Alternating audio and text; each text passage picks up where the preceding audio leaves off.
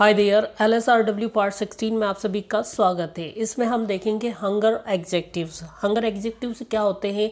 जब आपको भूख लगती है तो उस टाइम पे आप अलग अलग शब्दों का यूज़ करते हैं। इन शब्दों को ही आप बोल सकते हो हंगर एग्जेक्टिव्स तो आइए वीडियो की शुरुआत करते हैं। Lesson carefully and then write आपको ध्यान से सुनना है और उसके बाद लिखना है।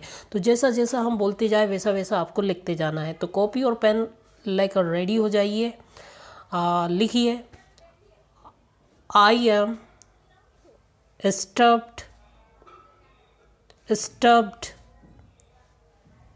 full stop नीचे वाली लाइन से लिखिए I am full I am full full stop फिर नेक्स्ट लाइन से लिखिए I am hungry I am hungry फिर फुल स्टॉप नेक्स्ट लाइन से लिखिए I am starving, I am starving, or or or I am famished, I am famished.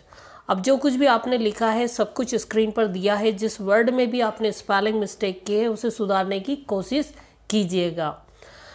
अब आइए इसका meaning देखते हैं वर्ड्स पावर में, जिसे हम बोलते हैं आई एम स्टफ्ड ये जो रेक्टेंगल शेप है, ये आपका पेट है। जब आपके पेट में बिल्कुल भी जगह नहीं होती है पूरी तरह से आपका पेट खाने से भरा हुआ होता है तो उस टाइम पे आप बोल सकते हो आई एम स्टफ्ड हमने यहाँ पे आई एम का शॉर्ट फॉर्म यूज़ किया है, आम।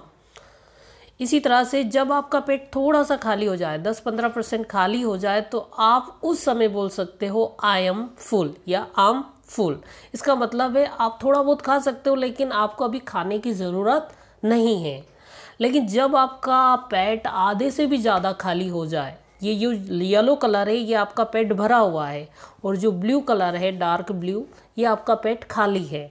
तो उस टाइम पे क्योंकि जब आपका पेट आधे से ज़्यादा खाली होगा तो आपको भूख लगेगी। उस टाइम पे आप बोल सकते हो आई एम हंग्री और जब आपका पेट पूरी तरह से खाली हो जाए, बिल्कुल भी उसमें खाना ना बचा हो तो उस टाइम पे आपको बहुत भयंकर वाली भूख लगेगी। तो उस टाइम पे आप बोल सकते हो आम स्टार्विंग या फिर आप बोल सकते हो आम फेमिस्ट तो आप इस जो स्क्रीनशॉट ले सकते हो, अपने पास सेव करके रख सकते हो, और ताकि इससे आपको बहुत अच्छे से समझ में आ जाएगा कि किस टाइम पे हमें कौन से वर्ड का यूज़ करना है। अब नेक्स्ट देखते हैं, हमने यहाँ पे वर्ब यूज़ किया है बी देखिए बी की अलग अलग फॉर्म होती है। फ़र्स्ट सेकेंड थर्ड आप देख सकते हो। देखिए बहुत बार स्टूडेंट बोलते हैं कि वर्ब और वर्ब की फ़र्स्ट फॉर्म सेम होती है। अगर सेम होती है तो यहाँ पे बी की first form is am are हो रही तो ये कहाँ पे सेम हो रही है? और हमेशा वर्ब में आई एन जी लगता है, ना कि फ़र्स्ट फॉर्म में, क्योंकि फ़र्स्ट फॉर्म में लगता तो इजिंग एमिंग आरिंग ऐसा होना था, लेकिन ऐसा नहीं हुआ है। तो इसका भी स्क्रीनशॉट आप ले सकते हो। अब खुद से इंग्लिश बनाने की कोशिश करें। आपके सामने तीन सेंटेंस है। मुझे भूख लग रही है, मुझे बहुत ज़ोर वाली भूख लग रही है, मेरा पेट फुल भरा हुआ है। मतलब बिल्कुल भी खाने की ज़रूरत नहीं है। आप वीडियो को पॉज कीजिएगा, मन से बनाने की कोशिश कीजिएगा। इसीलिए मैं बोलता हूँ कि आप वीडियो को ध्यान से देखिए, क्योंकि मैं यहाँ पे बहुत कुछ छोटे से वीडियो में करवा देता हूँ।